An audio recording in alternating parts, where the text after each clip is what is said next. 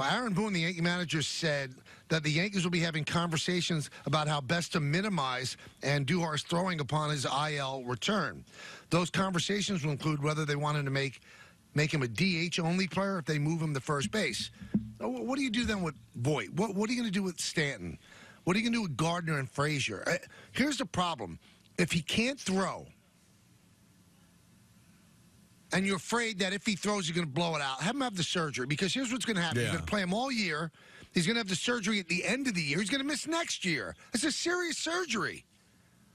You've got that's one of the losses you can absorb. As great as I think Andujar is, LeMahieu playing third base for the rest of the year, or uh, this, this is once Didi gets back, or Tulowitzki. It's doable. It's serviceable. It can work. So it's not like you have no replacement for him. You don't have a replacement for Severino. You don't have a replacement for, for Gary Sanchez. You can't replace what Giancarlo Stanton gives you. LeMahieu can approximate minus as much power what Andujar gave you last year. It's silly to upset the apple cart and maybe move Luke Voit, who has most RBIs on the team, off of first base as an everyday player. It's dumb.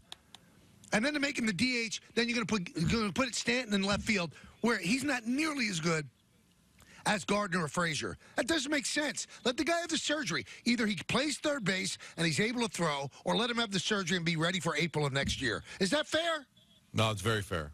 Absolutely. I mean, you're going to miss his bat, but you'll be better defensively, and you have a replacement for him. As you said, this is going to have to get corrected at some point, so you may as well do it when you have a replacement than some other time when maybe you don't.